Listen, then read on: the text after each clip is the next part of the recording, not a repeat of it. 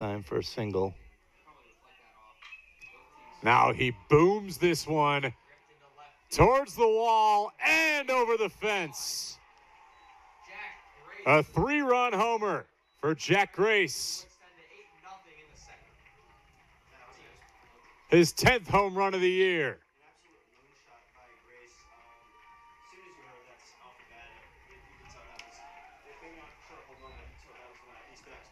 That was his power right there. That that's the toughest place to hit the ball out of here in Butler Park is to left center, and we'll see here as he got all that one right over the Bulldog logo there in left center field. That's a long ways. That's over 380 there, and he showed the power there. That he did. One away, payoff. This one is headed over to DeRiggi. Bobbling through. One runner comes home. Opportunity to get another out for Lozano. Monkey see, monkey do, trying to play through. Lozano, possible double play, doesn't go. Nolan Clifford slides through. Two runs for the Blue Jays. A lot of action on that play. I'm not sure. uh, The base runner was right in front of Dorigi on the ball. He got screened on the play. We'll see here. See the base runner right there. So he didn't see it. The ball goes right by him into left field. That drives in the first run. And then a heads up play here by Urban throwing the ball to second base to keep the double play intact. The runner was being aggressive, got him in a rundown. Butler did a great job of execution getting the runner, but then the runner from third base for 10 on the season stolen base wise. So I, I would assume he, he'll try to go here at some point. Over the top, gets Larry's head. Flipped on. Double play for the Jays.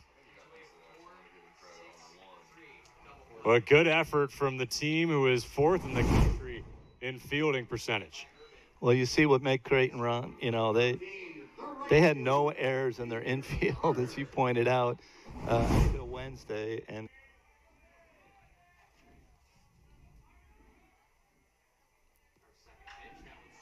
Swung on into left field. One runner will score. An RBI single. so Creighton puts the hit and run on. Uh, North takes off on the pitch, and so we'll see right here that Kabur hits right on the nose into left field, drives in the RBI. Now you got first and second, nobody out. Sailors is up, and This one is cascaded over to left. One runner will score and make it two. Creighton seizes two more runs out of this Butler defense in the first two innings. really good piece hitting there. You know, when, like you said, 428 hitter with the bases loaded, three and one count. He's in the driver's seat, lines it solidly to left field, scoring two runs, and the odds were all in Creighton's advantage there with their right hitter up at the right time. 23rd RBI of the season for Clifford. Huge momentum swing there. Time for a single. Now he booms this one towards the wall and over the fence. A three run homer for Jack Grace.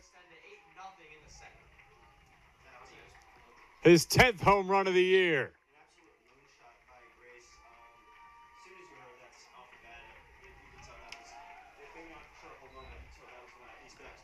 That was his power right there. That that's the toughest place to hit the ball out of here in Butler Park is to left center, and we'll see here as he got all of that one right over the Bulldog logo there in left center field. That's a long ways. That's over 380 there, and he showed power there. That he did.